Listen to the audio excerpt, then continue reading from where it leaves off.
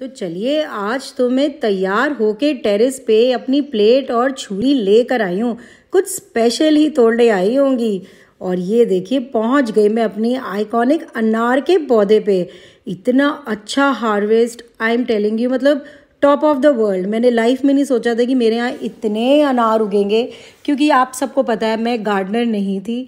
ये सिर्फ़ वेस्ट को कम करने के लिए मैंने गार्डनिंग स्टार्ट की और इस पौधे में सिर्फ़ और सिर्फ़ मेरी किचन का कंपोस्ट डला है और कुछ नहीं। ये अनार टूटने के लिए तैयार। ओ एम जी मेरी प्लेट भी नीचे गिरते गिरते बची। क्या करूँ? एक्साइटेड ही इतनी ज़्यादा हूँ। सोचिए, ना तो मैंने कभी ऐसे देखा कि इस तरीके से सब्ज़ी उगती है और ऐसे अपने आप सिर्फ़ वेस्ट कम करने के चक्कर में मैंने इतनी सब्ज़ी ग्रो कर ली। माय गॉड पॉकेट फ्रेंडली भी बहुत रहता है ये। और अब ये कट जाए जल्दी जल्दी, करके ना थोड़ा हार्ड होता है छिलका। और अब कट गया, देखें क्या निकला इसमें।